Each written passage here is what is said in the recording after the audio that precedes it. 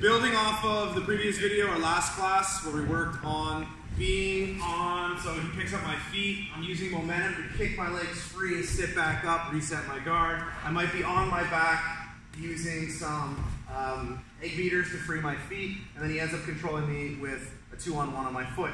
At this point, I just want to face him and try to use high legs and inversions.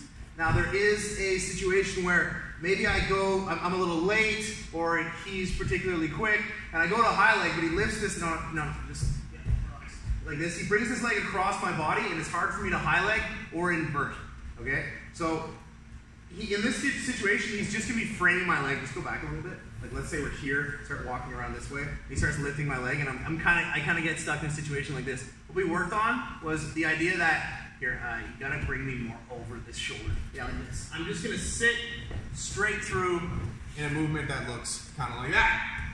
Where this comes from, if we break it down, if I'm in turtle, and he's on top turtle, okay, a really basic A-B sequence from the bottom of turtle, my elbows are tucked tight, I'm defending my neck, and I'm looking to go from dead toes into live toes and bump by picking up my hips and dropping my shoulder with the idea that if he gives me a bit of space, I'm walking around into a half Granby.